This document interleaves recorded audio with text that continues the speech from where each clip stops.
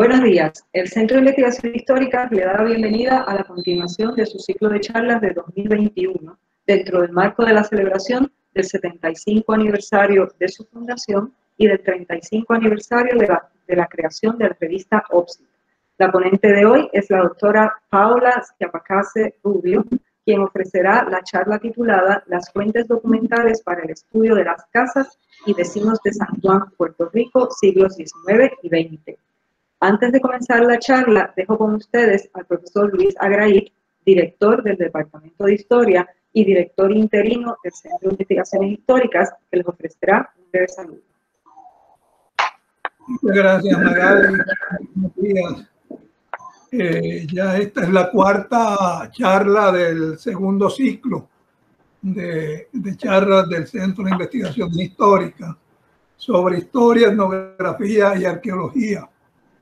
Eh, recuerdo que Fernando Picó, le he comentado a algunos, Fernando Picó, que fue originador, ¿verdad? Fue uno de los primeros en utilizar estas fuentes censales, fuentes demográficas para el estudio de, para el estudio de la historia de Puerto Rico decía que las fuentes censales y demográficas eran como los cantos gregorianos, que parecían aislados y lentos y poco a poco iban tomando una forma y una armonía que uno llegaba a disfrutar eh, y se iba enriqueciendo con ella. Y por lo que me cuentan de la charla pasada, que me que, que no pude, no pude estar presente entre la doctora Jaramillo y el doctor Stinson, eh, eh, efectivamente elaboraron un gran canto de conocimiento, ¿no? Que todo el mundo, que todo el mundo aprecia y, obviamente enriqueció a cada cual. Eh, lo que quiero decir es que esta, esta serie, estas cuatro en particular, han tenido la, han acertado, ¿no? en, eh, en ser ejemplos de cómo se, precisa, se, se, usan con precisión y con imaginación este tipo de fuentes y para eso es un gran placer tener a, a la doctora Chapacase en la mañana de hoy y para su presentación y continuar con la actividad vuelvo a dejar en el uso de la palabra a la maestra Magalis Sintrón Butler. Magalis, por favor. Muchas gracias, profesora Gray. Eh, la doctora Paula Schiapacase Rubio cuenta con una preparación académica interdisciplinaria que abarca historia, estudios puertorriqueños, museología, hasta completar un doctorado en antropología en Syracuse University en 2011. Al presente es catedrática auxiliar del programa subgraduado de antropología de la Facultad de Ciencias Sociales en la Universidad de Puerto Rico, recinto de Río Piedras. Sus investigaciones y publicaciones le han se han concentrado en sitios del periodo colonial español en, el Caribe, del periodo colonial estadounidense en Puerto Rico, en la arqueología documental y en las colecciones arqueológicas. Algunas de sus publicaciones son las siguientes. Arqueología documental trazando historias desde las fuentes archivísticas. The Development of a Maritime, maritime Quarantine System in 19th Century Spanish Puerto Rico as a Response to Epidemics and Pandemics. Welcome to Isolation. Lazareto de Islas de Cabras, the first permanent quarantine station in, in 19th century Puerto Rico. Y la musealización del conjunto histórico institucional de, la, de aislamiento y militar en una pequeña isla en la entrada de la bahía de San Juan de Puerto Rico. En 2020 fue designada editora regional de Caribe para, la, para el boletín de la Society for Historical Anthropology. Arqueólogos. Por otro lado, su vinculación con el Centro de Investigaciones Históricas comenzó hace varios años y consiste en ofrecerle una charla a sus estudiantes de antropología acerca de varias de las fuentes documentales disponibles, que luego utilizarán en un trabajo de curso. Algunas de esas fuentes son, por ejemplo, los mapas y planos de Puerto Rico del siglo XIX, el Archivo General Militar de Madrid, el Archivo General de la Marina Álvaro Bazán, el Archivo Cartográfico y los Estudios Geográficos del Ejército Español, los, censos de población de Puerto Rico de 1910 al 40 y el de población y riqueza del 35, los archivos parroquiales y el registro central de esclavos. Este ejercicio es un ejemplo de investigación transdisciplinaria. Por último, Su charla de hoy se centrará en las fuentes documentales disponibles para proyectos de investigación dirigidos a estudiar aspectos relacionados con la población de la isleta de San Juan y sus viviendas. Se discutirán cuatro tipos de fuentes, sus alcances y limitaciones, lugares de consulta y formas de incorporar la información en narrativas sobre dinámicas humanas entre la segunda mitad del siglo XIX y principios del siglo XX. Dejo con ustedes a la doctora Paula Ciapacase Rubio. Muchísimas gracias eh, al profesor Agraid y a Magalis por, por la presentación. Eh, yo quiero comenzar eh, dándole las gracias al Centro de Investigaciones Históricas por haberme incluido en esta celebración que estamos, ¿verdad?, siendo partícipes de los 75 años de fundación del Centro de Investigaciones Históricas, una unidad sumamente importante para nosotros no solamente en el recinto, pero eh, a nivel de Puerto Rico y a nivel internacional. También quiero eh, tomar ¿verdad? unos breves momentos para eh, expresar mi gratitud a todos los colegas que se están conectando durante esta mañana, desde Colombia, desde Inglaterra, desde Puerto Rico, antiguos estudiantes que están aquí también para escucharme y a todas las personas interesadas en esta temática. Voy a eh, proceder a proyectar. Eh, agradezco si por favor me pueden confirmar que en efecto ven toda la pantalla. Sí, se ve. Muy, muchas gracias. Eh, y voy a aprovechar de poner acá mi relojito. yo quiero, es verdad, como mencioné, comencé agradeciendo y para mí es muy grato poder participar de, de esta actividad eh, no solamente por los lazos de amistad, sino eh, por el profesionalismo con el que eh, se conduce todo, todo, el personal del Centro de Investigaciones Históricas y la ayuda impagable que me han ofrecido a través de los años a mí y que le han extendido también a todo el estudiantado. El enfoque de este ciclo de charlas eh, me permite compartir con ustedes los esfuerzos que hemos estado llevando en los últimos años eh, en algunos de los cursos del programa eh, de, antropología del Departamento de Sociología y Antropología de la Universidad de Puerto Rico específicamente los cursos de arqueología histórica, arqueología urbana, arqueología de la domesticidad, documentos y arqueología, el seminario de antropología y estudios independientes, eh, y también los cursos que he podido enseñar en el programa de ciencias sociales general, generales como eh, las temáticas de, la esclavitud y de la transculturación durante los primeros periodos eh, españoles en el Caribe. los estudiantes han tenido la, oportunidad de diseñar proyectos semestrales que están dirigidos, primero que nada, a, obtener experiencia recopilando eh, e interpretando datos de fuentes primarias eh, que les permiten a su vez entender eh, todas las dinámicas sociales en las que se están enfocando. Muchos de estos trabajos se han concentrado en la isleta de San Juan durante el siglo XIX y las primeras cuatro décadas del siglo XX. como pueden ver en esta diapositiva, ¿verdad? La, ubicación de Puerto Rico y la isleta de San Juan en imágenes aéreas. Los objetivos eh, han sido eh, no solamente ¿verdad? recopilar eh, estos documentos, sino que, como mencioné, analizar y poder presentar nuevas narrativas o añadir a las narrativas existentes en muchas ocasiones desde la otra edad. nos hemos enfocado en los temas de las casas como unidades familiares, los comercios y datos más específicos sobre la población. Eh, también en la incorporación de información arqueológica para poder entonces presentar otras interpretaciones sobre lo que hubiese sido la cotidianidad en estos espacios. Eh, como se mencionó eh, al principio, hemos utilizado cuatro fuentes principales de información, los censos poblacionales de las décadas de 1910 a 1940, las peticiones de permisos para construir y reconstruir en solares intra y extramuros de la isleta de San Juan, las matrículas de industria y comercio de finales del siglo XIX y los acervos fotográficos eh, disponibles de forma eh, digital. Los, eh, el primer proyecto eh, que comenzamos a diseñar y que voy a utilizar para presentar las fuentes documentales que hemos estado incorporando, eh, lo titulamos La reconstrucción de poblaciones sanjuaneras. este proyecto lleva en, en proceso posiblemente unos cinco años y han participado una gran cantidad de estudiantes.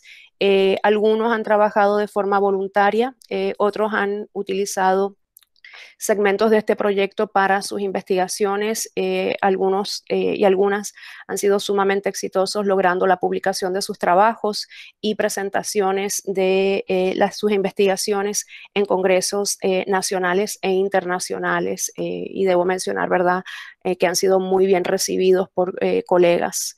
este proyecto tenía, ¿verdad? estos cuatro objetivos principales.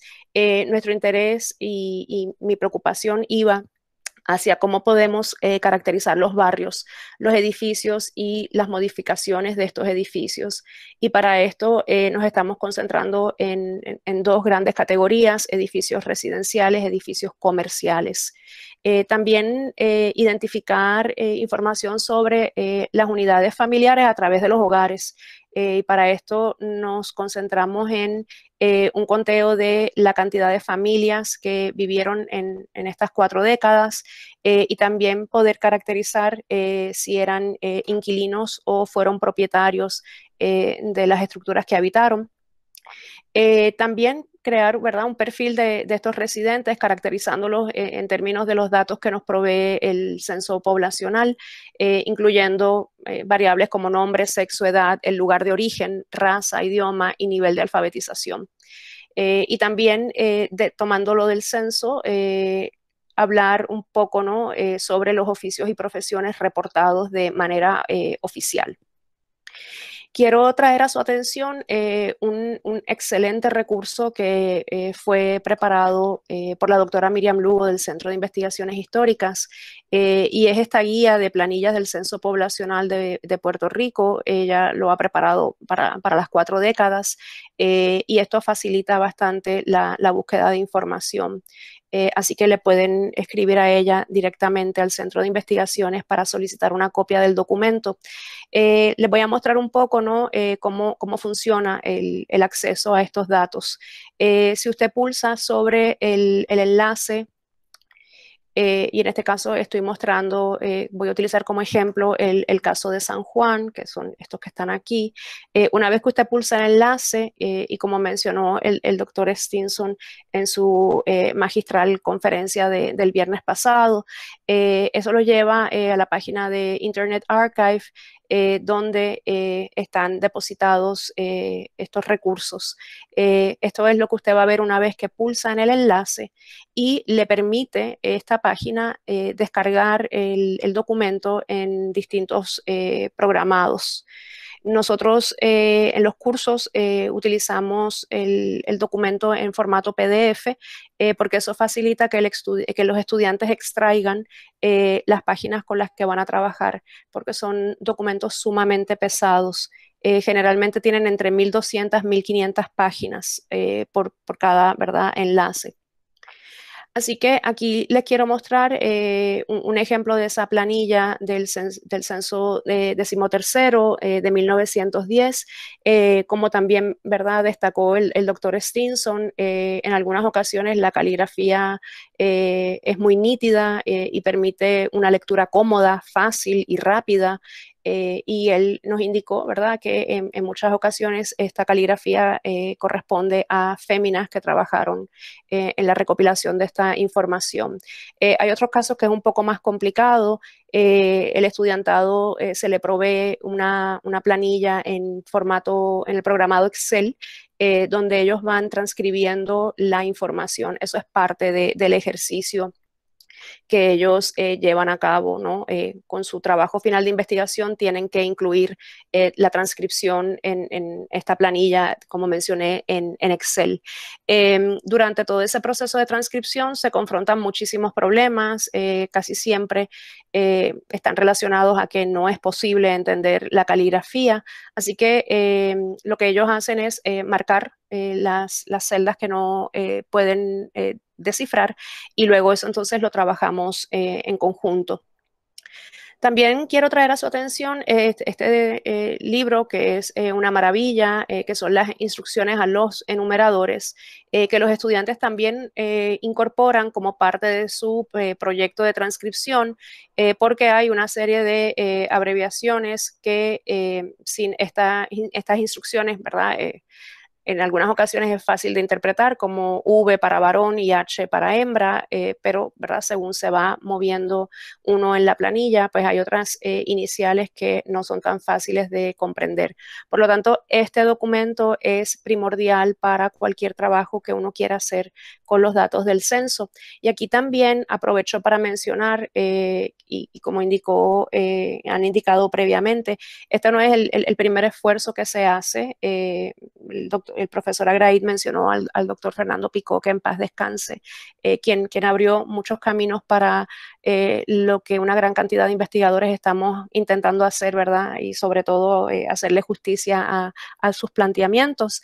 y hay también en, en, diversas revistas publicadas por la universidad una cantidad de trabajos que se han enfocado en el uso de los datos censales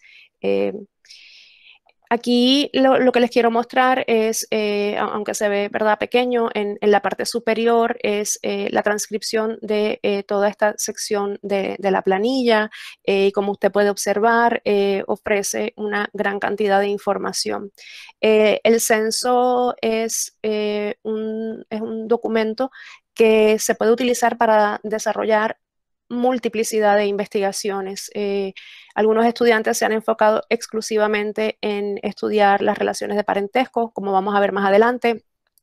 Hay estudiantes, eh, cuatro estudiantes desarrollaron un proyecto eh, en el que identificaron todos los extranjeros en, la isleta de San Juan durante 1910 con, un intento de ver si podíamos encontrar algunos focos de inmigrantes en, secciones de, la isleta. hay otros estudiantes que eh, se han enfocado particularmente en eh, analizar el nivel de educación o de alfabetización de la población. Y eh, también ha habido un, conjunto de, estudiantes que han mirado en, detalle el, tema de cuántos residentes de San Juan fueron propietarios de los lugares donde, como mencioné, habitaron. Eh, aquí, ¿verdad? Quisiera mostrar uno de los ejemplos eh, de, y en esta, en esta imagen eh, agrandada, nos da una excelente idea ¿no? de, la valiosa información que contienen estas planillas. y si comenzamos con Julio Díaz Piñero, jefe de familia, aparece su esposa, sus hijos también están registrados, una hijastra y cuñado, así que otra vez eh, nos va a dar eh, toda esta información que nos permite entender eh, cómo fue esa composición familiar y que hay otros, otras investigaciones que se han enfocado en identificar personas que estaban casados por segunda o tercera vez y mirar también el, tema de, los hijos y de familiares que hubiesen estado viviendo en, esta, residiendo en esta ubicación específica. Eh, este es un ejemplo, ¿verdad?, de ya eh, la transcripción de datos de, la planilla del censo. Em, nosotros todavía no hemos logrado completar eh, toda la transcripción para 1910 porque en vez de abordar la investigación como un todo en distintos cursos, por ejemplo en arqueología urbana, los estudiantes se enfocan en estudiar un bloque urbano eh, como parte de su trabajo eh, de semestre, ¿no? Eh, y esa información que obtienen del censo la correlacionan con datos cartográficos y datos arqueológicos en el caso que estén disponibles. Quiero eh, también eh, mostrarles eh, el plano general de San Juan que fue preparado, ¿verdad? Comisionado por el Puerto Rico Borough Fire Underwriters de 1921. es una excelente herramienta de trabajo. de hecho, todas nuestras investigaciones en los cursos utilizan este plano como base para lo que eventualmente eh, diseñan para investigación. Y eh, me voy a enfocar en, este eh, bloque que tenemos aquí para mostrarles la cantidad de información que se puede obtener.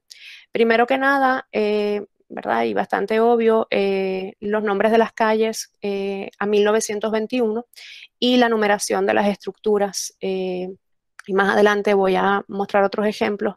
Es importante entender esta numeración porque eventualmente cambió en, la ciudad de San Juan. Por lo tanto, en los el, primer, la primera limitación que encuentran, encuentran los estudiantes es que eh, los números no coinciden con las estructuras hoy día. ¿No? Eh, eso nosotros lo resolvemos de una manera bastante sencilla y es que vamos a hacer eh, trabajo de campo, nos desplazamos al, al, viejo San Juan, los estudiantes caminan, ¿verdad? por las cuatro calles que rodean el bloque que están estudiando, toman fotografías de fachada, vistas generales de la calle, y entonces eh, hacen ¿verdad? Ese, ese, proceso de conversión de la numeración original eh, que aparece aquí ¿verdad? en 1921. También me gustaría destacar que, eh, como ustedes pueden ver aquí en, en, la leyenda que incluyo, estos números que vemos aquí, que están dentro de un círculo, lo que indican es la número, el número de plantas que tiene el edificio.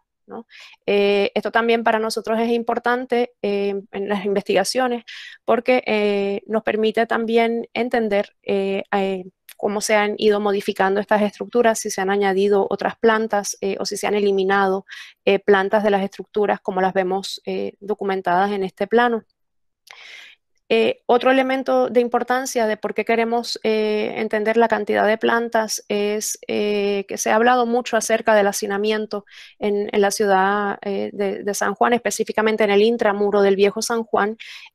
así que más adelante voy a mostrar otro de los ejercicios que hacemos, ¿verdad? Para entender un poco eh, e-, ese, ese, tema de investigación. Eh, las iniciales que podemos ver aquí, eh, la M corresponde a mirador, la P corresponde a patio, también se documentan terrazas, buhardas, cobertizos de cartón, cobertizos de zinc y todo eso, ¿verdad? también lo vamos incluyendo en una base de datos para compararlo con eh, fotografías, eh, fotografías históricas y las fotografías que se toman eh, durante la inspección ocular en estos proyectos. una de las, creo que no estoy bien, uno, de los, uno de los intereses que también nosotros hemos atendido a través de este proyecto fue el, barrio Vallajá en, en, el viejo San Juan. Y utilizamos esto eh, como base de muchas de las investigaciones, ya que aquí se realizaron excavaciones arqueológicas durante la década de 1980 y principios de 1990 con motivo de la conmemoración del quinto centenario. Eh, fueron unas excavaciones masivas eh, y en la colección arqueológica se encuentra depositada en el Museo de la Universidad de Puerto Rico. Así que nos permite pedir ayuda eh, al museo en términos de los inventarios e información eh, que se haya generado en campo para enriquecer nuestro entendimiento de estos espacios. Em, el estudiante Orlando Batista eh, en el 2016 decidió em, preparar a través de GIS, él sobrepuso el el plano que les mostré de 1921 sobre una fotografía aérea, que ustedes pueden ver aquí, ¿verdad? Ampliada, eh, y dibujó los distintos lotes eh, que compusieron eh, los bloques 1, 2 y 3 del, del, barrio Vallajá. Y con la información que ya había transcrito del censo, eh, generó eh, estas imágenes preciosas en las que podemos ver eh, dos conjuntos de datos. Primero que nada, la cantidad de personas que habitaron en estos espacios en 1910, lo que usted está viendo a su izquierda, y el total de familias, ¿verdad? Y que esto permite comparar, como puede ver aquí, ¿no? En este lote tan grande, solamente habitaba una persona versus una, sola familia que estaba compuesta por una persona versus este que está aquí, está un poco borroso, donde eh, habitaban más de 70 personas eh, y más de, 10 familias, ¿no? Entonces, otra vez, aquí es importante entender cuántas plantas eh, tenían estas estructuras y, comparar esa, esa distribución. Otro de los datos que también eh, trabajamos eh, en conjunto fue ver la distribución de hombres y mujeres, eh, sobre todo por la cantidad de lavanderas y planchadoras que habitaron y costureras que habitaron en el, en el barrio Vallaja. Por lo tanto, queríamos ver cómo era esa distribución y si tal vez en efecto hubo más mujeres viviendo en las cercanías del campo del morro, eh, posiblemente ofreciendo eh, estos servicios de lavado y planchado al personal militar. Eh, la estudiante Laura Hernández en el 2018 se dio a la tarea de transcribir los cuatro censos para estos tres bloques del barrio Vallajá y eh, logró eh, no solamente ¿verdad? transcribir todos los datos, sino generar eh, una información muy valiosa y que al día de hoy continuamos utilizando, en la que está, tenemos ¿verdad? esta base de datos que ella preparó, tenemos el listado de todos los oficios y profesiones identificados en el barrio Vallajá, como usted puede verlo a la izquierda, y también sumamente relevante para entender el, el factor socioeconómico de las personas que allí vivieron, la cantidad de trabajadores que eh, residían, ¿verdad? En, el barrio eh, y podemos mirar, ¿verdad? Eh, hombres y mujeres. Esto nos llevó a, ¿verdad? Según nosotros íbamos trabajando, encontrábamos más y más problemas, encontrábamos más limitaciones, encontrábamos que necesitábamos afinar un poco mejor nuestros datos. Em, el mapa de barrios eh, que, ¿verdad? Que, tenemos disponible de 1840, publicado en el libro de la doctora eh, Castro, eh, fue un, muy buen comienzo.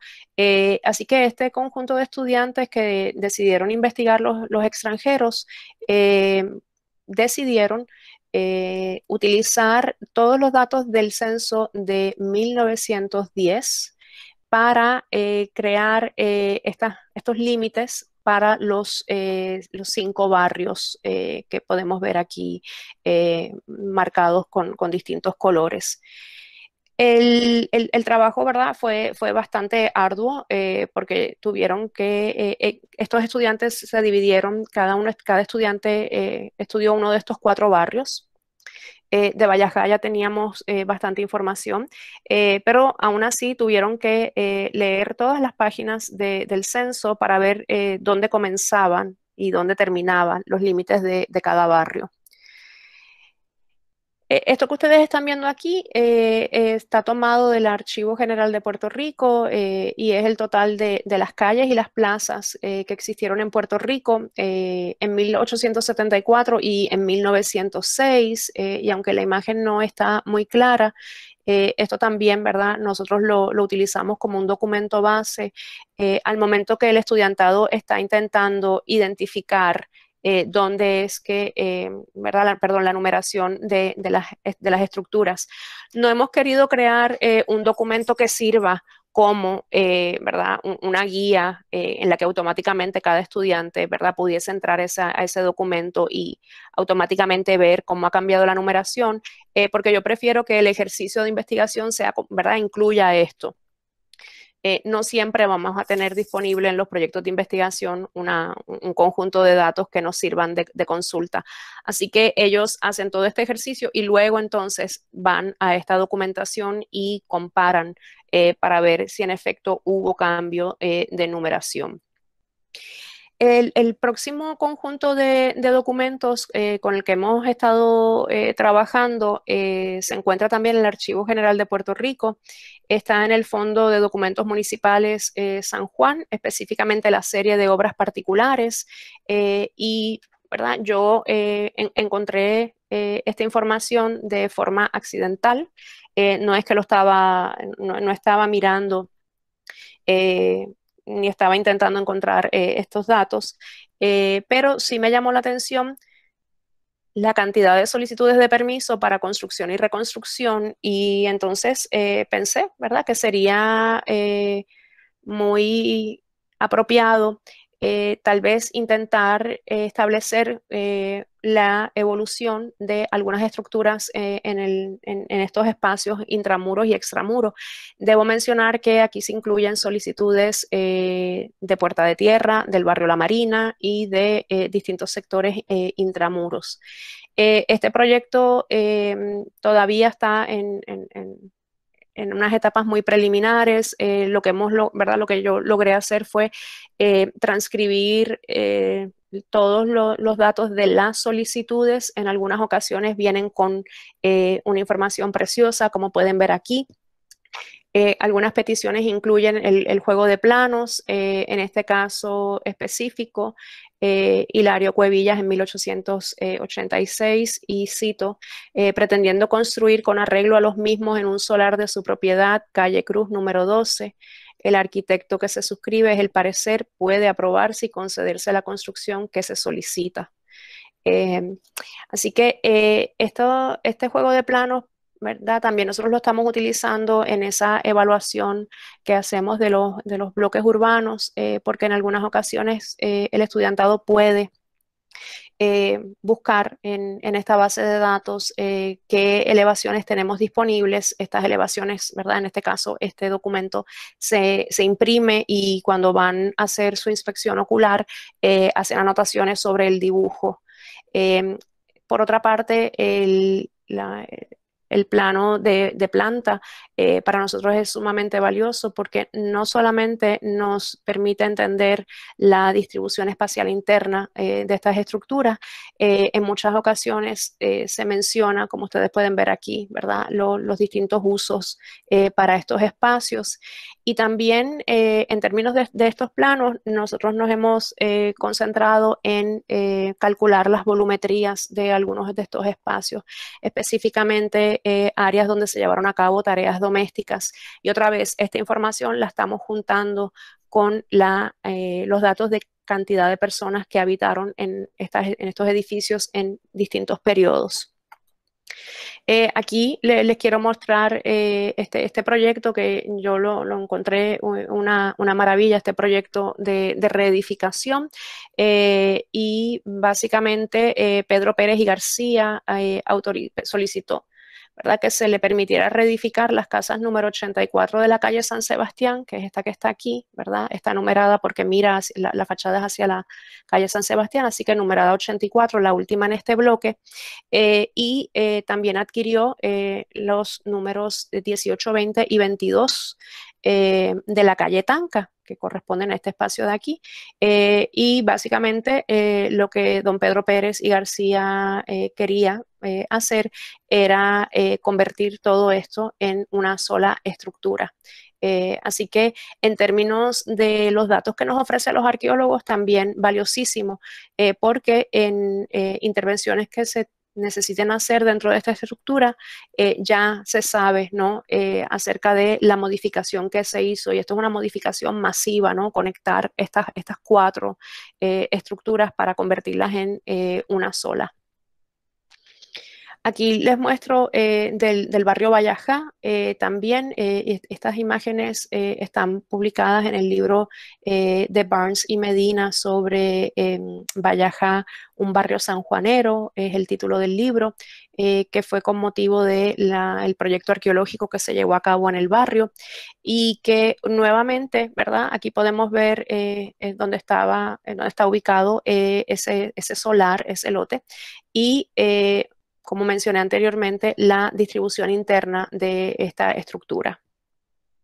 En el caso de, eh, este, de esta construcción, eh, es bien curioso eh, que mencionan que no existía ningún tipo de estructura en el lugar, habla acerca ¿verdad? de la colindancia con los jardines de beneficencia y los talleres de Casablanca y lo que quería era construir una casa almacén para depósito de herramientas útiles y efectos de eh, una profesión de maestro constructor de obras. Eh, y, ¿verdad? Eh, cierro cita. esto fue, se comenzó el proyecto en, en 1876. también para nosotros es mm, importante y relevante entender esa, tipología de estructuras que eh, conformaron eh, esos paisajes del viejo San Juan. Eh, y aquí, ¿verdad? Me, encanta este ejemplo que es del barrio La Marina, eh, a la izquierda ustedes pueden ver em, la ubicación de ese solar en un plano eh, cortesía de la División de Manejo de Recursos Culturales y le debo agradecer a Javier Martínez Báez que está conectado con nosotros hoy. Em, el acceso a, este documento, la identificación y el acceso a este documento, porque otra vez tenemos la, la petición de edificación eh, como podemos ver aquí otra vez, elevación y, eh, plano interior de planta, eh, pero el poder ubicar específicamente el solar en, un plano, ¿verdad? permite que más adelante nosotros incorporemos planos, fotografías y tengamos una mejor idea de cómo se vio esa calle en, distintos, ¿verdad? distintos momentos de finales del, del siglo XIX. Así que eh, aquí podemos ver otro tipo de material de construcción, ¿verdad? Muy distinta eh, la fachada a, lo que vimos en, las imágenes anteriores, en las diapositivas anteriores. Y eh, en este caso, este plano también cortesía del National Park Service, tiene que ver con una petición en el Solar 78 en Puerta de Tierra. Eh, así que eh, hemos enfocado nuestra atención en, estos últimos semestres en el espacio de Puerta de Tierra, eh, porque al igual con el barrio La Marina, hay una exquisita documentación en, los archivos que, mencionó Magalis al principio, que ¿verdad? Algunos de estas, estos documentos tienen hasta 78 folios, ¿verdad? Unas memorias descriptivas que nos, proveen datos de quienes eh, vivían en las colindancias. Así que toda esa información, nuevamente, me repito, ¿verdad? Eh, nos ayuda a entender mejor eh, la composición de, de, estos barrios y de estos espacios, ya fuesen peticiones para construir estructuras de vivienda o estructuras que iban a ser utilizadas como almacenes o como talleres. Eh, aquí podemos ver eh, otro ejemplo, ¿verdad? También en, Puerta de Tierra, en, el Solar 58. Eh, aquí quiero resaltar que en, esta, en este intento de reconstruir un poco información sobre Puerta de Tierra, hemos sido bastante exitosos y exitosas porque se han llevado a cabo por lo menos más de entre 10 y 15 trabajos de arqueología eh, que han recuperado unos depósitos, eh, unos basureros y unas evidencias de elementos estructurales eh, valiosísimas que a, la misma vez enriquecen ¿verdad? nuestro entendimiento de los espacios cuando los miramos o nos enfocamos en las personas ¿no? y las actividades que se llevaron a cabo. En el caso de, de Puerta de Tierra, ¿verdad? también se ha visto eh, este proyecto beneficiado de los datos que están contenidos en los registros de oficios, profesiones y negocios. Eh, específicamente eh, tenemos fotografiado las décadas de 1880 a finales del siglo XIX. esas fotografías yo las hago disponibles para el estudiantado que quiere trabajar con, con estas líneas de investigación y nuevamente, eh, además de saber quiénes vivieron en qué espacios, en qué momentos se construyeron o modificaron las estructuras, eh, podemos regresar a mirar eh, en qué trabajaron estas personas. Así que estos datos de 1880 a finales del siglo XIX, nosotros podemos, le seguimos la pista en el censo de 1910 para ver si estas personas todavía están llevando a cabo, ¿verdad?, sus oficios o si están ¿verdad? trabajando desde sus hogares, podemos ver esa continuidad eh, para las historias de vida de los distintos residentes. Em, este es un ejemplo de las planillas de contribución industrial y de comercio, esta específicamente de 1896 al 97. Eh, se encuentra disponible en el Archivo General de Puerto Rico, en el Fondo de Documentos Municipales San Juan bajo la serie Matrículas de Comercio. Eh, contiene las solicitudes de matrícula de comerciantes, eso es un documento aparte, es una planilla, ¿verdad?, eh, que ya impresa que contiene los nombres de las personas que estaban eh, ejerciendo los distintos oficios o trabajaban en distintas áreas de comercio. Eh, da también la cantidad de contribución que tenían que eh, abonar semestralmente. Y para que ustedes vean, ¿verdad? Otra vez la maravilla de, que es este documento, nos da la información de los contribuyentes y dónde estuvo ubicado su negocio. ¿no? Eh, en este caso, eh, almacén de provisiones, podemos ver, ¿verdad?, que eh, hubo en, en el número 19 de la calle Luna, en el barrio Marina, en la calle San Francisco 69, Fortaleza 19, etcétera, etcétera, tienda de joyería, tienda de quincalla. y aquí, ¿verdad? Estamos, ¿verdad? Mirando no solamente los nombres de las personas que aparecen como contribuyentes, sino que estamos eh, con la transcripción de estos datos que la comenzamos el semestre pasado y va a, paso muy lento.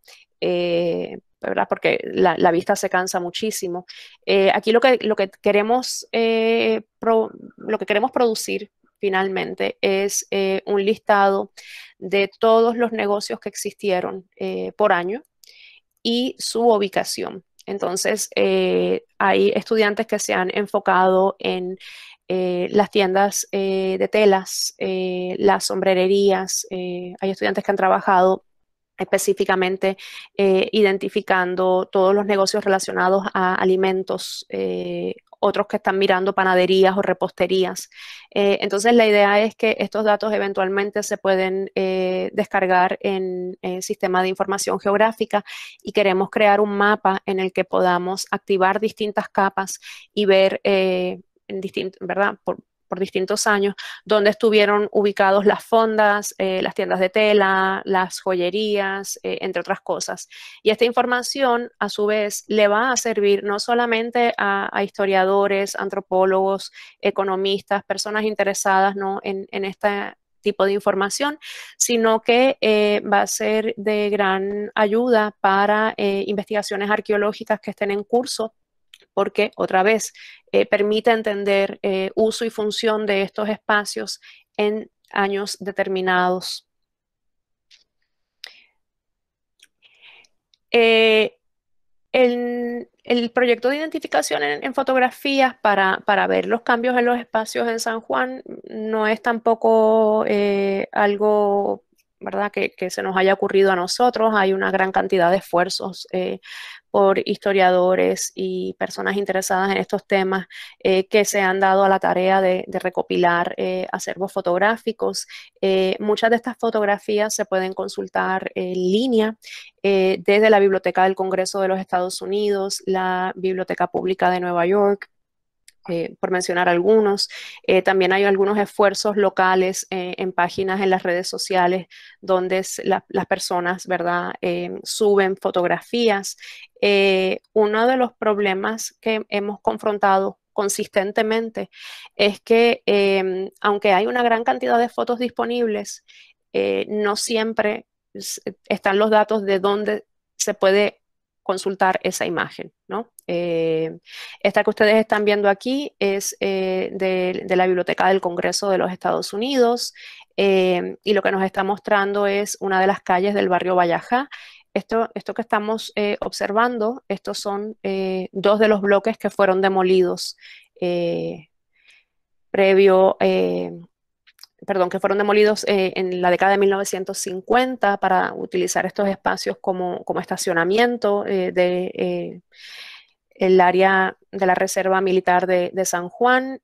así que, otra vez, junto con los datos que tenemos del censo de las personas que vivieron en cada uno de estos edificios, junto con los planos, como ya mencioné, de edificación y reedificación, pues tenemos esta otra, este otro nivel de información que nos permite corroborar si en efecto lo que nosotros estamos viendo en la documentación eh, se vio reflejado ¿no? de, manera física. Hay veces que nosotros encontramos eh, proyectos de construcción que no se llevaron a cabo o que quedaron a medio, eh, a medio construir. Por lo tanto, aquí podemos ver estos espacios Em, esta eh, otra imagen que tenemos aquí la, estamos utilizando en el proyecto de eh, oficios y negocios, eh, el Salón Villar Las Delicias, frente a la Plaza de San José. Así que otra vez, eh, nosotros tenemos los datos del censo para eh, esta estructura y las que están en los laterales, así que aquí podemos también eh, establecer si esto solamente funcionó como un salón billar o si que hubo una parte residencial en, esta estructura. estas imágenes que también son cortesía de la División de Manejo de Recursos Culturales del San Juan National Historic Site, eh, nos permiten ver eh, una parte de, la ciudad que no es muy común, eh, y no me refiero al, edificio, de, al, cuartel de Valleja, sino a estas casitas que vemos aquí, ¿no? y que básicamente corresponden al bloque 1 de lo que fue el barrio Valleja. ¿no? así que nuevamente me repito, ¿no? podemos ver la cantidad de plantas de las estructuras, podemos ver los usos en actividades eh, y tareas domésticas de los espacios de azotea eh, y podemos ver eh, la fachada de estas estructuras otra vez y todo esto lo vamos comparando con los datos que ya hemos ido recopilando. esta imagen yo la encuentro exquisita porque otra vez si vemos los, bloques 1, 2 y 3 de Valleja, ¿verdad? Y, y, el plano está no, está de la manera ubicado, orientado correctamente, ¿no? Eh, por eso es que se lee aquí al revés, pero la intención es mostrarles, ¿no? Eh, lo que hubiese sido el bloque 3, el bloque 2 y el bloque 1, que si usted se fija aquí, ¿verdad? Y toda esta configuración eh, todo, este espacio que está aquí, toda esta configuración de la calle eh, también fue modificada posteriormente. Por lo tanto, eh, eso es algo que para futuros trabajos arqueológicos nos, ayuda a, entender estas modificaciones de la superficie. Quiero, ¿verdad? ya estoy casi concluyendo, destacar dos trabajos de, de, estudiantes, en este caso, Helenia Trinidad publicó eh, un artículo, como puede leer aquí, eh, titulado Entre las paredes de la domesticidad, cuatro décadas de continuo uso. Eh, ella se enfocó en, un bloque para el que eh, se pudo consultar la información que ya mencioné, además de eh, datos generados por el Historic American Building Survey, que básicamente ¿no? es la documentación arquitectónica tanto de la fachada de todas las fachadas del bloque más los planos de planta de estas estructuras. Eh, que están disponibles en la Biblioteca del Congreso de los Estados Unidos. Eh, y entonces ella fue mirando, ¿no? De igual manera, la cantidad de residentes por estructura, la cantidad de familias e hizo eh, ese análisis que les mencioné de volumetría para cada uno de estos espacios. Eh, el otro trabajo, ¿verdad? Que fue eh, titanesco, eh, también de, Laura Hernández, y que también está publicado en la revista Ingenios, Espacios Domésticos Fuera del Hogar, Lugares de Alojamiento en San Juan. Laura mm, básicamente se sumergió en la documentación eh, disponible, ella miró eh, los censos, ella miró anuncios de periódico y logró identificar todos estos espacios de alojamiento desde 1874 hasta 1926 y los eh, fue marcando ¿no? en, este plano de 1921 eh, y aquí ustedes pueden ver Un, detalle, un acercamiento de ese eh, trabajo, que otra vez en términos arqueológicos para nosotros es sumamente valioso, porque esto es lo que generalmente nosotros en la arqueología utilizamos como base de estudio o lo que.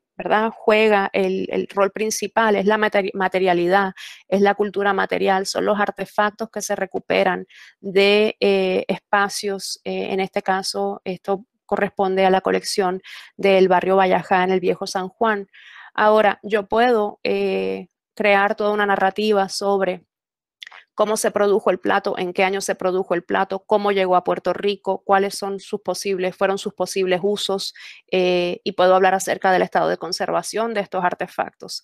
Lo que sí queda ¿verdad? Eh, faltante de, esa eh, semi-narrativa es entender quiénes fueron las personas que utilizaron estos artefactos para poder hablar acerca de cotidianidad, para poder hablar de los vecinos de San Juan y sobre todo ahora, ¿verdad? Que estamos en, esta celebración de, los 500 años de la fundación de, San Juan. no podemos olvidar que Eh, esto no se trata de que la ciudad es histórica solamente porque tiene 500 años. La ciudad es histórica y ha tenido protagonistas eh, durante estos 500 años que necesitan ser traídos a la luz. Cuando hablemos acerca del viejo San Juan, necesitamos considerar cómo vivieron estas personas, cuáles fueron sus espacios eh, habitacionales, sus espacios de trabajo y también, muy importante desde la arqueología, cuáles fueron los objetos que utilizaron para poder ¿verdad? Eh, vivir en, la ciudad. Así que quiero concluir agradeciendo al eh, decanato de, mi facultad, la Facultad de Ciencias Sociales, por el programa para incentivar la investigación subgraduada eh, y haber permitido que estudiantes trabajaran como asistentes de investigación. Destaco la ayuda de Yulisa Collazo, Elías Salgado y Juan Maestre. Eh, agradecerle a mi departamento ¿no? por acoger las iniciativas de investigación, a Félix López, a Eric López de San Juan National Historic Site y aunque ya no está en el National Park Service, a Javier Martínez Báez, a quien ya mencioné, y quedó, ¿verdad?, en una eh, gran deuda eh, con todo el personal del Archivo General de Puerto Rico eh, por la ayuda que me han prestado y particularmente con el Centro de Investigaciones Históricas por siempre acoger las peticiones, el profesionalismo con el que nos atienden y más que colegas, ¿verdad?, se han convertido en muy buenos amigos. Así que muchísimas gracias a todos y a todas por su atención. Excelente, excelente exposición, doctora Schiapase. Eh, sin duda, eh, es un trabajo arduo el que están haciendo eh, y una experiencia maravillosa para sus estudiantes, sobre todo pues, de nivel de bachillerato, ¿verdad? que debe, debe redundar en beneficio, un beneficio añadido, un valor añadido en su preparación académica, ¿verdad? Eh, vamos ahora a eh, revisar los comentarios y las, y las preguntas que se han formulado en el chat. Eh,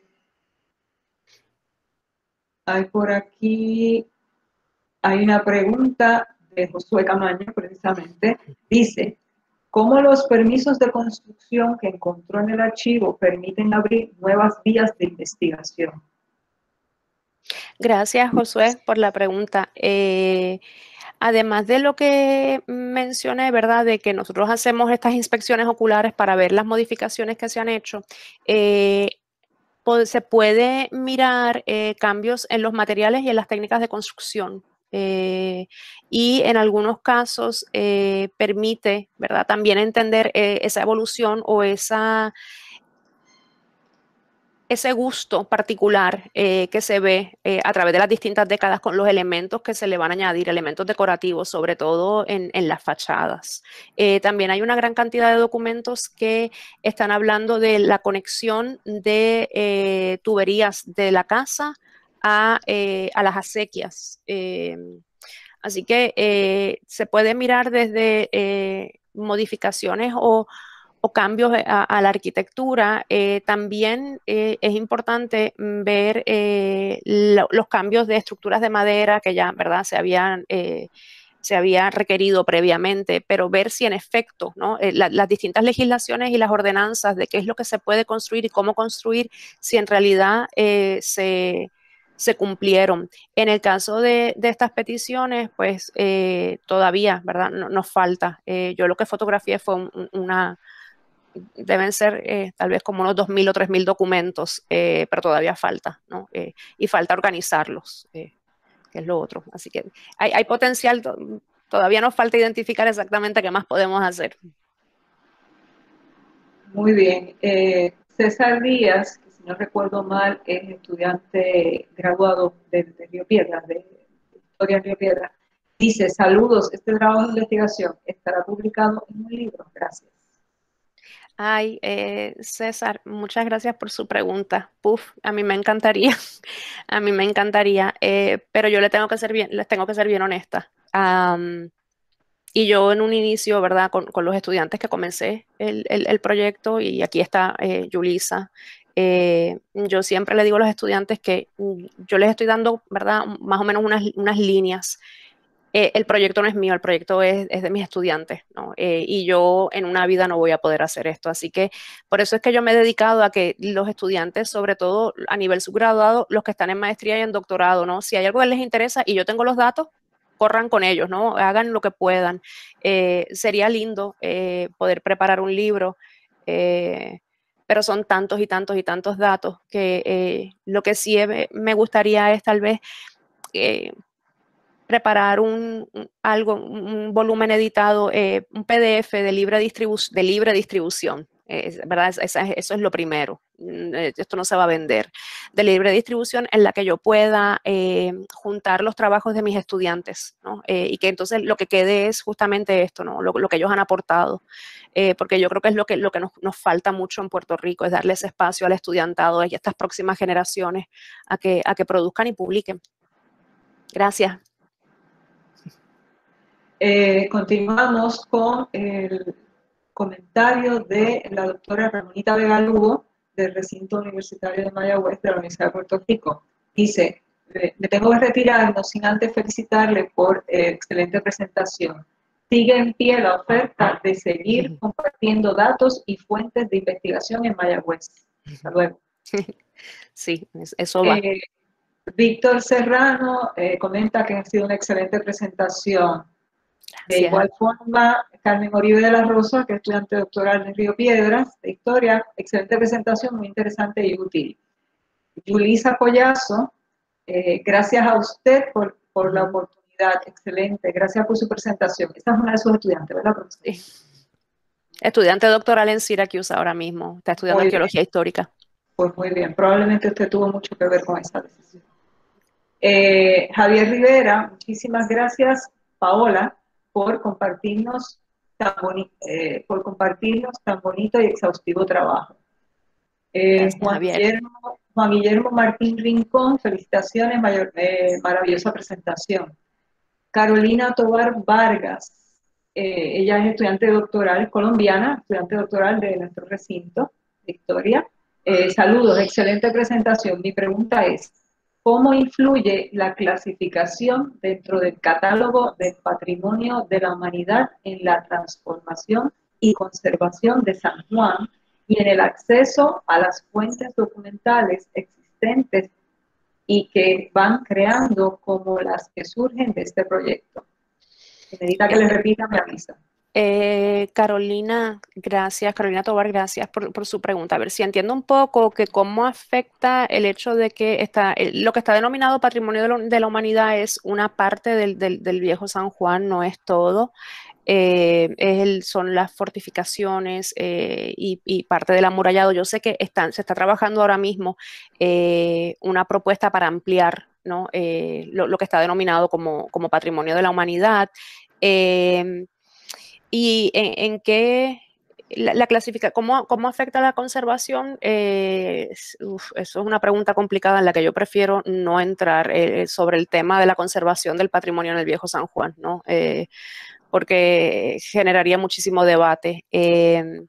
lo que sí le puedo decir es que se necesitan más esfuerzos de conservación en el viejo San Juan. No voy a decir en qué porcentaje de conservación estamos, pero se necesita.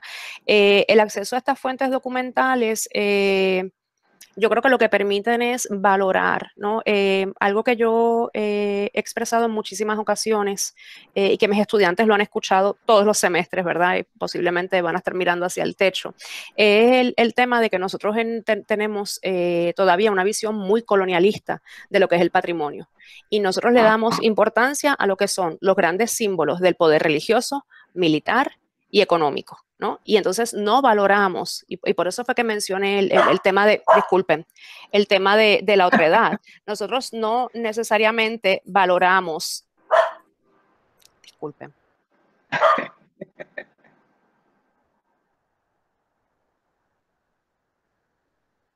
disculpen esa intervención. Eh, nosotros ah. no, necesariamente valoramos eh, como, como colectivo, ¿no? Eh, todas las personas que fueron las que permitieron que San Juan fuese lo que fue, lo que, lo que fue San Juan, ¿no?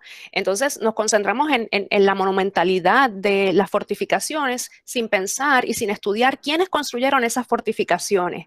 Hablamos acerca, ¿no? De, de todo el progreso en el siglo XIX y el tráfico marítimo y demás, y no hablamos acerca de los peones que trabajaron en los almacenes o en, o los puertos. Entonces yo creo que eh, esta documentación, que otra vez, eh, esto no es nada novedoso porque se ha hecho en Puerto Rico en, en, secciones, ¿no?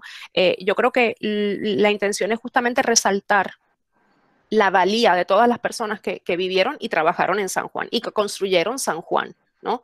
Eh, ya suficiente de estar hablando, ¿verdad?, de la gente de élite. Ya de eso tenemos bastante. Vamos a concentrarnos en este otro sector de la población de la que necesitamos saber, ¿no? Eh, y que si queremos si queremos entender en realidad qué fue lo que sucedió en San Juan, es la gente que tenemos que mirar. Los de élite estaban en, otra cosa, ¿no? Los que, los que dejaron el pellejo fueron toda esta otra clase trabajadora. Entonces, eh, necesitamos mirar el, barrio La Marina. Eh, Víctor Serrano, que está conectado, eh, hizo su tesis de maestría sobre el, barrio La Marina, un, ¿verdad? Un, excelente acercamiento. Y necesitamos también, ¿verdad? que no nos podemos olvidar, estudiar la perla y todas las contribuciones de la perla a la sociedad puertorriqueña, a la sociedad sanjuanera, ¿no? Y dejar de estar mirándolos como una sociedad alienada. Participaban, se movían y fueron fundamentales para eh, actividades de subsistencia en el viejo San Juan. Así que no sé si ahí contesté, Carolina. Eh, muy bien. Comenta José Camaño, excelente presentación. El doctor José Rigao eh, dice, eh, el Archivo General en su sala de referencias tiene un folleto mimeografiado con la numeración antigua de casas y su número moderno. Pregunta, ¿han, ¿han cotejado esa fuente con los hallazgos de ustedes en la calle? ¿Es fiable? Sí, eh, gracias, eh, doctor Rigau. Eh, sí, lo hemos cotejado, es fiable, pero como mencioné, esa es lo último que los estudiantes consultan, porque yo quiero que ellos vayan a campo, ¿verdad? y, y tengan la experiencia de, llegar con su información impresa y mirar los edificios y decir, pero es que esto no es el, los números no corresponden, ¿no? Eh, eso es parte de lo, que tienen que aprender. Así que sí es fiable. Eh, y aprovecho, doctor Rigao, para mencionarle que en el censo de, en los censos eh, aparecen registrados no incluye ese ejemplo, el, personal de los distintos hospitales en, el viejo San Juan. así que tal vez eso le pueda interesar. Muy bien. Eh, el doctor John Simpson eh, comenta, excelente, una pregunta para un futuro. ¿Entiendes que las metodologías y técnicas para la investigación y recopilación de los datos empleadas pueden utilizar, se pueden utilizar para estudios similares para Mayagüez, Ponce, quizás Guayama y Arecibo? Sí, sí. Eh, de hecho, eso que mencionaba Ramonita eh, previamente es porque queremos hacer eh, algo similar, porque en Mayagüez hay muchísimas personas preocupadas con, el tema del patrimonio, ¿no? de hecho, hay una página en las redes sociales sobre el patrimonio de, de Mayagüez en la que hay, pero miles de fotografías. Es una maravilla. Así que sí, se, puede replicar. Eh, yo en vez de concentrarme en, estos en estas grandes ciudades, eh, lo que quiero hacer es eh, comenzar a trabajar con el interior. quiero empezar con Utuado. y, ¿verdad? he estado conversando con el doctor Reniel Rodríguez sobre la posibilidad de ¿verdad? Hacer un, junte eh, y ver cómo sus estudiantes pueden empezar a manejar los datos. Pero sí, eh, lo que pasa es que Mayagüez es, gigantesco, ¿no? Eh, y también otra cosa que estamos trabajando con documentación son los datos después del terremoto, las peticiones de ayuda económica. Todas esas, todas esas planillas ya las tenemos transcritas, ¿verdad? Y aquí nos da los números de las viviendas, la dirección de las, de, de las casas, la gente que vivía, cómo estaba construida la casa y lo que están pidiendo y los daños. Y eso, esa base de datos ya la tenemos, eh, que se la puedo facilitar, porque yo sé que a usted le interesa el tema de Mayagüez. Así que sí, eso lo tenemos. Eh, muy bien, eh, comenta Raúl Velázquez, excelente presentación y pregunta, ¿y para, ¿y para San Germán se puede hacer lo mismo para conservar su patrimonio de la humanidad? Yo creo que esto se puede hacer en cualquier pueblo, en cual, y verdad, e incluyo Vieques y Culebra. o sea, de hecho, Raúl, muchas gracias. Stinson, muchas gracias. Es que yo creo que todo esto es lo que tenemos que estar haciendo, ¿verdad? tenemos que empezar a estudiar a la gente en los pueblos ya tenemos las historias oficiales, ya tenemos, ¿verdad?, las notas para la historia de cada pueblo, ya tenemos tesis, pues vamos a empezar a enfocarnos en esto.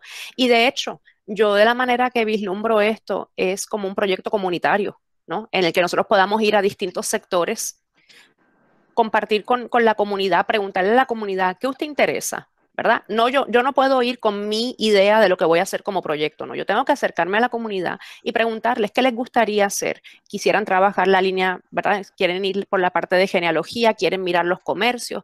Y de hecho, sería un proyecto maravilloso poder eh, ir tal vez un día sábado a un centro comunitario y que la gente trajese sus fotos y se fueran digitalizando para un banco de fotos de la comunidad, no para mí, para la comunidad, donde el momento en que los niñitos y niñitas en la escuela tengan que hacer un trabajo sobre, ¿verdad? Para la semana de la puertorriqueñidad, ¿verdad? Pues puedan utilizar esto y que la historia que presenten es la historia de su barrio, es la historia de su familia, de sus antepasados. Otra vez, es permitir que las personas se apropien, se adueñen de su historia al fin y al cabo es de ellos y de ellas. Muy bien, comenta, bueno, aparece bajo CIH UPRRP, ahí no sé si es Josué ah, o Miriam, sospecho que es Josué, sospecho que es Josué, y dice Arqueología Social e Historia, una unión indisoluble. Exactamente. Eh, eh, Alice Samson, de Inglaterra, si no me equivoco.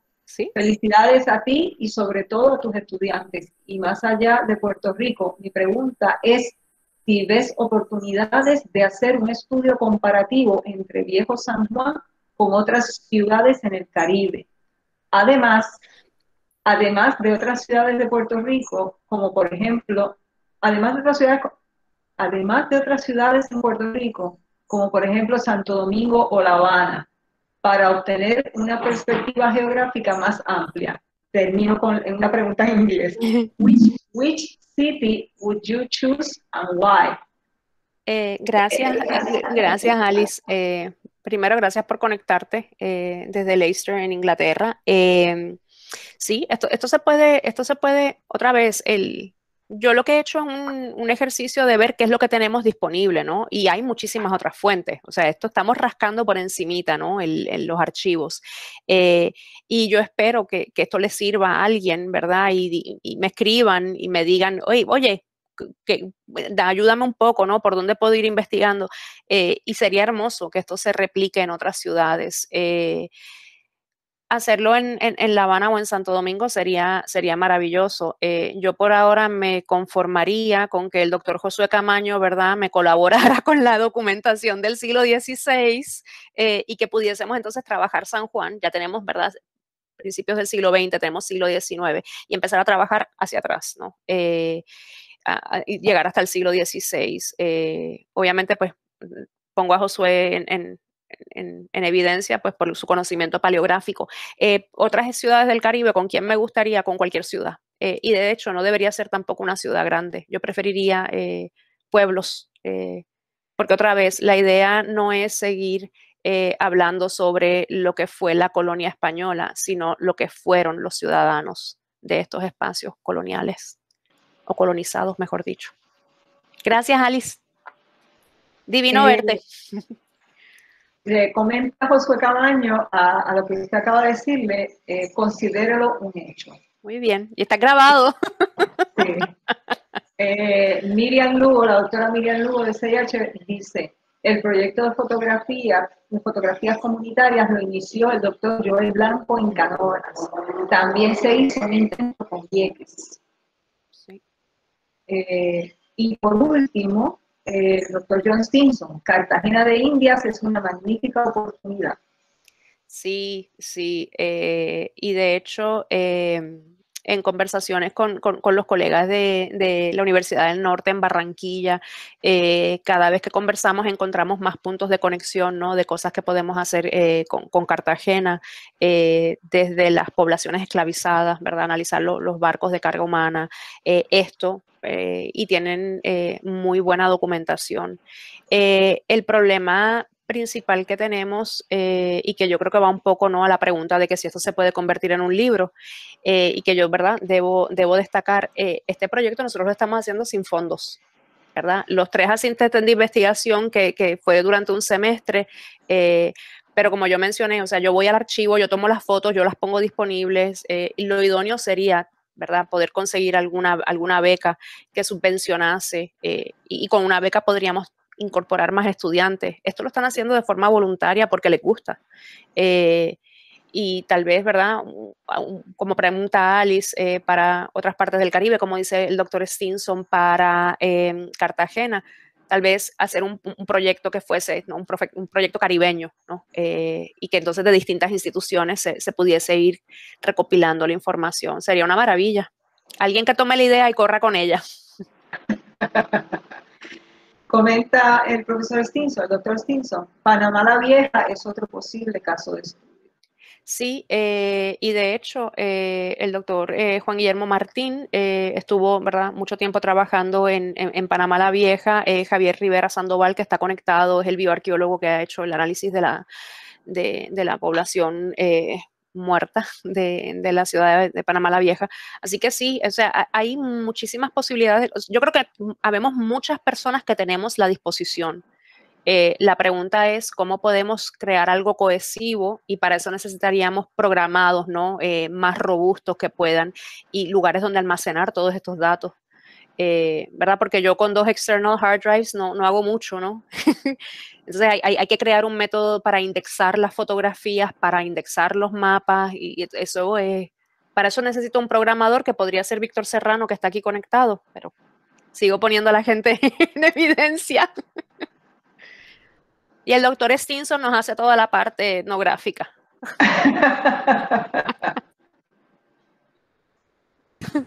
Ay, ya, ya, estoy viejo y me duelen los callos para caminar tanto. No importa, vas en guagua, vas en guagua. Gracias a todos y a todas por sus preguntas. Eh, ¿Algún otro comentario, pregunta que alguien desea hacer? Entró algo más aquí. Eh, el, sospecho que el doctor eh, Juan Guillermo Martín Rincón, de Colombia, efectivamente valdría la pena pensar en un proyecto mucho más ambicioso del Gran Caribe. Siguen uniéndose a la idea, doctora. Qué bien, qué bien. No, y en yo, yo quisiera... Sí. Adelante, José. Sí, yo no, yo no tengo pregunta, pero lo que voy a decir no quisiera ponerlo en el chat, quisiera expresarlo eh, de esta manera. Eh, quiero reconocer antes que nada eh, el que Paola Schiapacase se uniese a nuestro segundo ciclo de charlas y sobre todo porque la profesora Schiapacase ha sido de las profesores y de profesoras junto con el profesor Stinson y otros que está aquí presente en ser eh, sumamente de los más usuarios del Centro de Investigaciones Históricas, ¿verdad? Este, son de los profesores que han encontrado en el CIH esa, esas, esas betas, ¿verdad? De documentación que les ha servido en sus investigaciones y de sus estudiantes, porque todavía hoy seguimos recibiendo por la vía virtual a los estudiantes de Stinson y a los estudiantes de Pablo Esquiapacase, ¿verdad? Eh, los ayudamos como los podemos ayudar. Así que a ambos que están aquí, ahora en particular, Stinson eh, también quiero agradecerles siempre que han visto en el centro ese apoyo en las investigaciones propias y en las de sus estudiantes también. Así que eh, gracias por ese, por ese gesto siempre, ¿vale? Gracias, gracias, Josué. Eh, y de hecho, creo que, lo, creo que lo mencioné al principio, ¿verdad? El Centro de Investigaciones Históricas es valiosísimo, valiosísimo. Para nosotros en el recinto, a nivel de Puerto Rico, a nivel internacional, y yo generalmente, ¿no? Cuando los estudiantes tienen una pregunta, yo lo que les digo es, tienes que escribir al Centro de Investigaciones Históricas ellos son los que te pueden contestar, ¿no? Eh, así que otra vez, ¿verdad? Y, tal vez puedo terminar con eso. Yo quedo eh, en eterno agradecimiento con, todos ustedes, eh, porque no solamente ustedes contestan las solicitudes de información, ustedes dan la milla extra. Si ustedes no tienen el dato, y esto, ¿verdad? Lo quiero decir para que quede grabado. Si ustedes no tienen el documento, ustedes no tienen el recurso, hacen lo indecible por identificar dónde los estudiantes pueden eh, acceder a, la información. Y eso no es en todas partes, ¿no? Eh, ustedes tienen una verdadera pasión eh, por, lo que hacen, Magali, Yadira, Josué, Miriam. y eso es no solamente de admirar, pero tiene que ser resaltado a, nivel del recinto. Les felicito.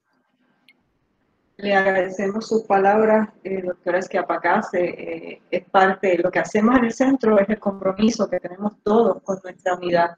Eh, yo creo que no sabemos ser de otra manera, no podemos ser de otra manera. Eh, mientras exista ¿verdad? el lugar, nosotros, el lugar donde localizar la fuente, haremos todo lo posible porque las personas obtengan la mayor cantidad de información eh, aún en este proceso, ¿verdad? En el que pues no estamos dando servicio presencial eh, y la prueba está la cantidad de consultas que nos han hecho y a todo el mundo se le ha dado mínimo una o dos alternativas. Hay gente que ha recibido seis, siete, ocho alternativas, dependiendo, claro, del tema, ¿verdad? Este, nosotros aprovecho entonces yo ahora para decir, eh, el personal del centro se reúne eh, los muchachos dicen en conclave, pero sabemos que el conclave se refiere ¿verdad? A, los cardenales. Pero nos reunimos, ya sea de manera presencial, los miércoles, que es el día que coincidimos todos, eh, y si no por teléfono, discutimos las consultas y con el conocimiento que cada uno de nosotros tiene de distintos temas, distintos periodos, etcétera, eh, hacemos búsquedas en Internet y contestamos lo antes posible es nuestra manera de aportar, ¿verdad? Y de dar servicio en esta coyuntura eh, mientras la gente sigue esperando, ¿verdad? Para poder tener acceso a, nuestra fuente, muchas de las cuales pues, son únicas. Eh, agradecemos a, la, a, la, doctora Esquepacase, no quedan comentarios ni más preguntas. Eh, le agradecemos entonces a la doctora Paola Esquepacase por su excelente charla y por todo lo, ¿verdad? la información adicional, las respuestas a todas esas preguntas. Eh, antes de finalizar, eh, reconocemos al profesor Luis Agraid, director interino del CIH, eh, que les dirigirá unas breves palabras y luego regreso con ustedes para el cierre de la actividad. Adelante, profesor Agraid. Gracias, Magali. Gracias, doctora Chapacase. Eh, mucho agradecimiento primero por tus generosas palabras sobre el centro eh, y por el reconocimiento que le has hecho a, los funcionarios, que es un equipo que se ha formado a lo largo de los años. ¿no? Este, yo creo que algo, como acaba de mencionar Magali, si algo lo identifica ese sentido de equipo con el cual prestan su servicio. Y ese equipo eh, se fue forjando, algunos comenzaron como estudiantes del departamento y de ahí hicieron en la transición a, empleados del centro. Así que hay que también reconocer a las directoras que fueron conformando ese equipo, dos de las cuales nos, nos acompañan, Mary Castro y Lolita Luque, ¿no? que también fueron forjadores en ese sentido de, del centro como, como existe hoy. No, no voy a reclamar indulgencias con escapularios ajenos, yo estoy accidentalmente ahí pero Mary y Lolita me parece que, que comparten, ¿no? Ese, ese, quería compartir ese reconocimiento. Segundo, agradecerte, Paola, ese llamado que hace a reconocer la humanidad contenida en las estructuras. Yo creo que eso es fundamental. Me parece recordar que Mary en su libro, en su libro de historia, en su libro de sobre, sobre San Juan, no recuerdo si en la introducción o en, la, o en un prólogo, sí hace reconocimiento a las manos obreras y artesanas que literalmente construyeron eh, al viejo San Juan. Así que me parece que es muy importante reconocer esa dimensión que has mencionado.